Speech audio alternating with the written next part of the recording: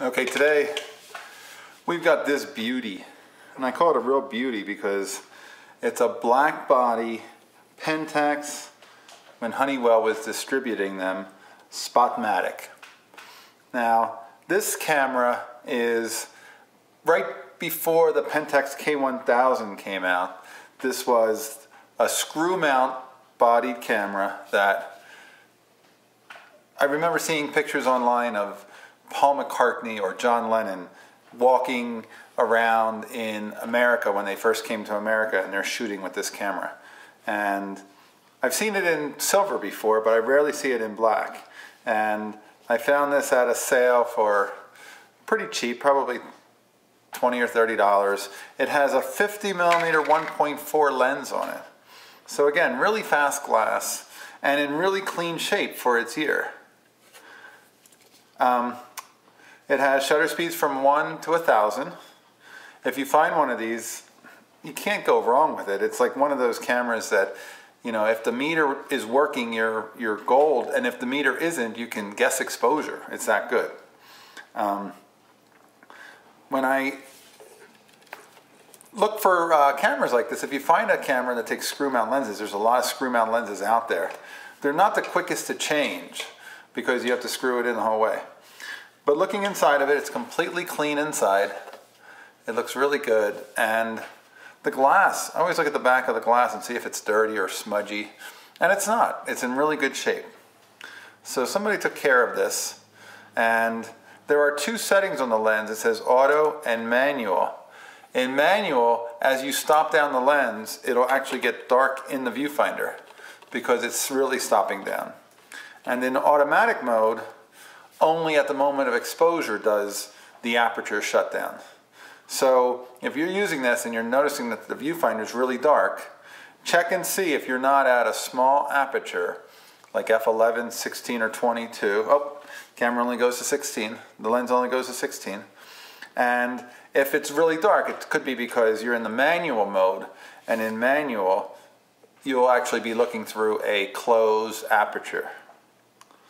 So when I picked it up, as I always do on my tests, I check out the shutter speeds. The difference between a 60th, it's a good sounding shutter, a thousand, an eighth, so you can hear the difference. That's half a second.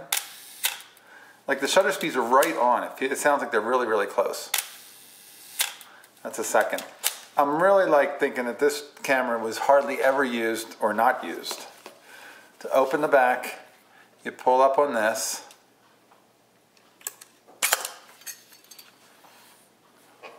A little bit of dust in there. I should get a little bit of dust off and blow it out. But um, again, a really clean curtain. There's no marks on it. There's no uh, presses or bends in it. Everything inside looks good. There's a little bit of foam in here, and it doesn't look like it's deteriorating much, although there's a little bit of, maybe a little bit of residue on here, but not much. And again, I would, I would trust this camera. I think this camera will be a good camera for uh, students.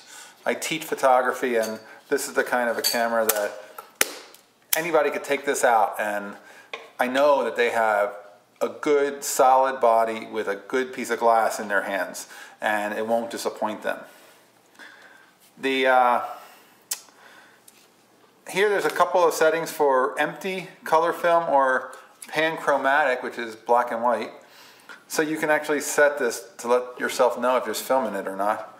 You can always tell if there's film in a camera just by pulling open the rewind and turning in the direction of rewind. If it keeps turning, there's no film in it. If it stops turning, that's because it's catching the film reel and it's creating tension. So you can always check that to see if you have film in the camera so you don't have to worry about opening it and finding out later, uh-oh. Later, you might have noticed some of the cameras put a little window in and that window would allow you to see the piece of the edge of the film canister so you could actually see what kind of film was in there. But this one was before that ever happened and this camera doesn't have a hot shoe. This is a great camera for people who want existing life photography. It's my favorite kind of photography. I'm not a fan of flash unless you're doing studio flash, most of the time flash looks like flash. And I like photographs that look like journalism. I'm a photojournalist, so I'm probably skewed towards things that look more real than more heavily produced. It's got a self timer. It's got a switch that turns on the meter. When you press that, it actually turns on the meter inside the viewfinder, and then you can turn off the meter. It's got flash sync for X, so you can put a um, PC cord into it and use it with a studio flash. And not a whole lot of other bells and whistles to it. It's a pretty simple, straightforward camera. I feel like it's one of the more special cameras that I have in my collection because it's in such good shape and it is such a, a legendary camera with such a beautiful lens, that 51.4. All right, if you have any questions, put them in the comments and uh, I'll be glad to answer them. And I'm always looking for new cameras and picking some up. And I love talking about them, so I'll keep doing these. And let me know if you have any questions. If you have one of these, let me know your experience with it and send me some pictures and we'll post a link and see let other people see how they how it works. All right, that's the Pentax Spotmatic beautiful black body. See you next time. Hit the subscribe button.